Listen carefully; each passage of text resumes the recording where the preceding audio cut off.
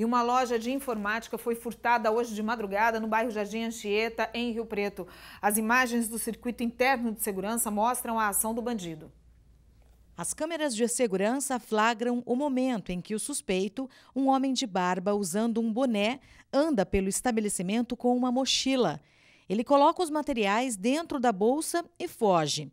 Segundo informações da polícia, o furto aconteceu por volta das 4 horas da manhã. O criminoso levou quatro notebooks no valor de dois mil reais cada, uma televisão, um rádio, celular e um videogame, além de outros produtos de informática. Esta é a segunda vez que o local é furtado. O caso vai ser investigado pela Polícia Civil.